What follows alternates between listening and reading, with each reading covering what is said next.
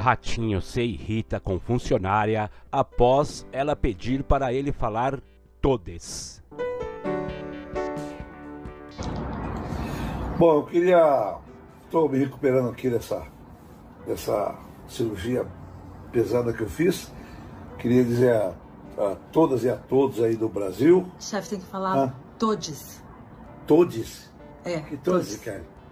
Todes, agora tem que falar todes também. Agora tem que falar todos? Aham.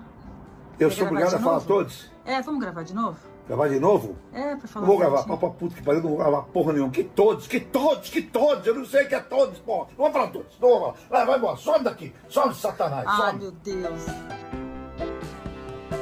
assim como todes, menine e amigues, são exemplos dessa linguagem cada vez mais comum nas redes sociais, entre membros da comunidade LGBTQIA+.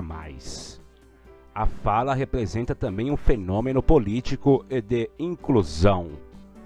O objetivo em substituir o artigo masculino genérico pelo E é neutralizar o gênero gramatical, a fim de que as pessoas não binárias que não se identificam nem com o gênero masculino nem com o feminino ou intersexo que se sintam representadas.